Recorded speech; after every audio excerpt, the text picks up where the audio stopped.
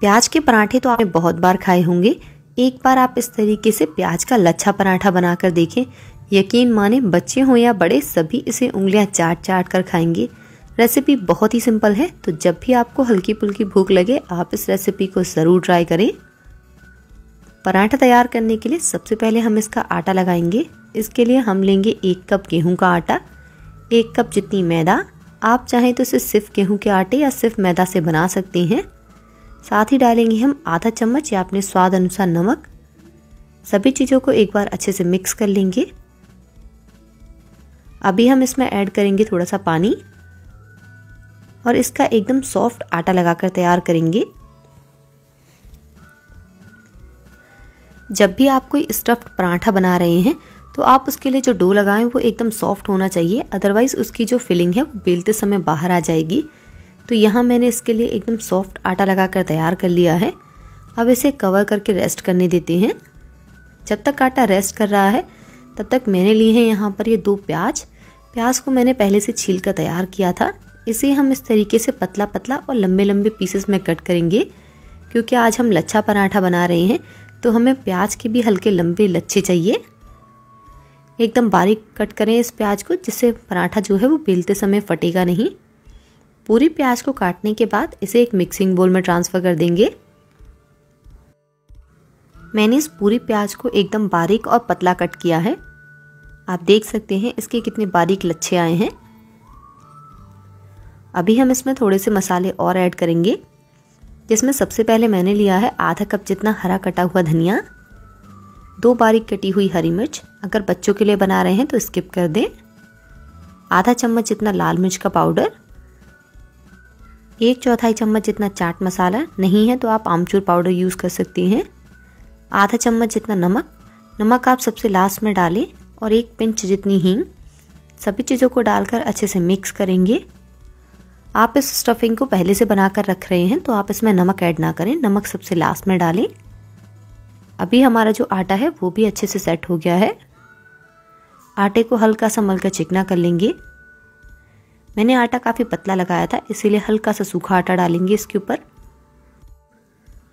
अभी हम इस आटे में से एक मीडियम साइज़ की लोई तोड़ेंगे, जितने का हम नॉर्मल पराठा बनाते हैं, उतनी ही हमें लोई तोड़नी है। इसे हाथों से हल्का सा गोल करेंगे। लोई बनाने के बाद इसे हल्के से सूखे आटे से डस्ट करेंगे। और अब हम इसका एकदम पतला पराठा बेलेंगे। तो आप किसी भी प्लेन सरफेस पर या चॉपिंग बोर्ड पर इसका एक पराठा बेल कर तैयार करें। अभी आपको इसमें ऑयल बिल्कुल नहीं लगाना है। बस हल्का सा सूखा आटा लगाकर इसे हल्का पतला बेल लें। इसकी पतली शीट बेलने के बाद अभी हमने जो प्याज की स्टफिंग तैयार की थी, उस पूरी स्टफिंग को पराठे के ऊपर इस तरीके से फैला देंगे। और अब हम इस तरीके से रोल करेंगे इसे। नॉर्मली लच्छा पराठा में हम लेयर बनाते हैं। बट इसे इस तरीके से रोल करना है जिससे ये जो स्टफिंग है वो बाहर नहीं आएगी। पूरे पराठे को अच्छे से रोल करने के बाद अभी हम इसे इस तरीके से फोल्ड करेंगे। आप देख सकते हैं मैं वीडियो में किस तरीके से कर रही हूँ। एक साइड को फोल्ड करने के बाद दूसरे साइड को हम हल्का सा ऊपर प्रेस करेंगे। और ये हमारी एकदम गोल लोई तैयार है।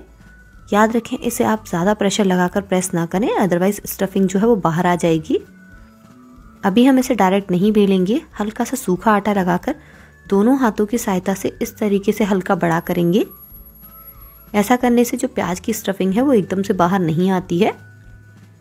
अभी हम बेलन की सहायता से इसे हल्का हल्का प्रेशर लगाते हुए बेलेंगे। याद रखें, एक साथ ज़्यादा ज़ोर लगाकर ना बेलें अदरवाइज़ स्टफिंग बाहर आ जाएगी। तो ये पराठा हमारा मिलकर तैयार है। अभी हम इसे सेकेंगे। पराठा सेकने के लिए इसे तवे पर डाल देंगे। एक साइड से जब पराठा सिक जाएगा, तब इसे पलट देंगे और दूसरे साइड से भी हल्का सा सिकने देंगे। जो साइड ऊपर सिक चुकी है, उस पर हम हल्का सा ऑयल लगाएँगे। ऑयल या घी जो भी आप अपनी कुकिंग में यूज़ करते हैं, वो आप इसके ऊपर लगा दें। पलट देंगे और दूसरे साइड से भी इसी तरीके से इसके ऊपर ऑयल लगाएँगे। पराठा सेकते समय आप गैस की फ्लेम को हाई टू मीडियम रखें। और इसे हल्के हल्के हाथ से प्रेस करते हुए दोनों साइड से अच्छा क्रिस्पी होने तक पराठे को सिकने देंगे। नॉर्मली प्याज के पराठे आपने बहुत बार बनाए होंगे। एक बार इस तरीके से बनाकर देखें। यकीन माने इसका टेस्ट बहुत ही डिफरेंट आने वाला है। तो बस हमारे ये पराठा दोनों साइड से सिक कर तैयार है। तो पराठे को एक प्लेट में सर्व करेंगे। सेम इसी तरीके से मैं और भी पराठों को सेक कर तैयार कर लूँगी। आप इस पराठे को दही या चटनी जिसके भी साथ सर्व करना चाहते हैं, उसके साथ सर्व करें।